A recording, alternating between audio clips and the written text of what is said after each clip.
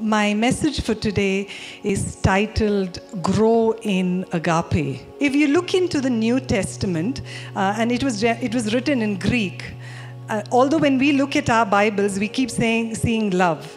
And earlier on, before I understood this concept, I keep, used to keep wondering what, I mean, love in English, it's such a limited word.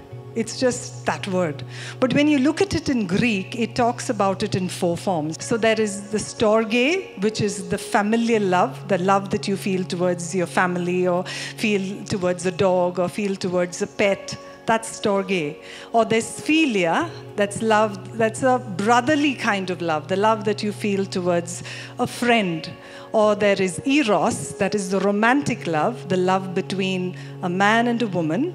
And lastly is agape, the love that is described as the love uh, of God. So when you talk about agape, uh, we're talking about love that is unconditional. Now, where did agape originate from? Agape originated from God. It is He who showed us how to love. 1 Corinthians 13, verse 4 through 7. Love suffers long and is kind. Love does not envy, does not parade itself, it is not puffed up, it does not behave rudely, it does not seek its own, is not provoked, thinks no evil, does not rejoice in iniquity, but rejoices in the truth bears all things, believes all things, hopes all things, endures all things. Now, when you look at these seven, uh, sorry, four verses, um, it, it brings about 15 distinguishing marks. Now, I have kind of bought it out together to bring it out into seven genuine traits. The first one being patient love. Patient love. Now, how is patient an action word? It often thinks like it's an attribute. I'll show you how.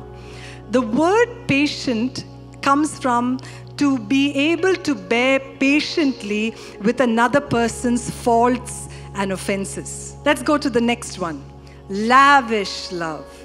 Lavish love. And I take this from again verse 4, which says, Love is kind. Let's move to the third one, which is selfless love. And I'm taking this from verse 4 and 5.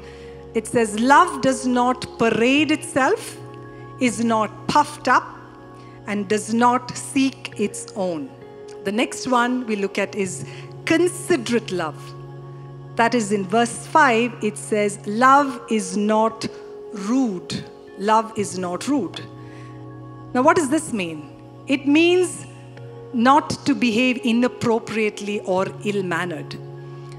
It's showing consideration to, to somebody. You know, when you show consideration to someone, you show that you value them.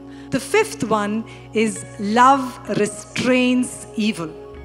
I'm in verse 5 now, which says, Love is not easily angered and keeps no record of wrongs uh, it's not easily angered means that it's not easily offended or it's one that's not easily irritated or touchy. And then it says, have no record of wrongs. It means think no evil. It means don't hold bitter grudges. Don't keep that resentment from, from growing.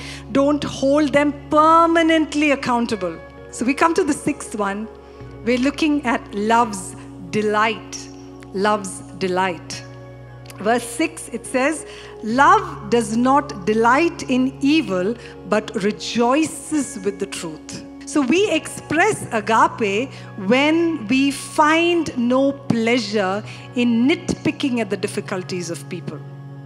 And the last one is steadfast love, which says, verse 7, it says, It bears all things, it believes all things, hopes all things, endures all things. So, love never takes a holiday. It is consistent, it never gives up, it's not an occasional gesture, it happens at all times. So, growing in agape is to be consistent and steadfast in showing love at all times and in all things.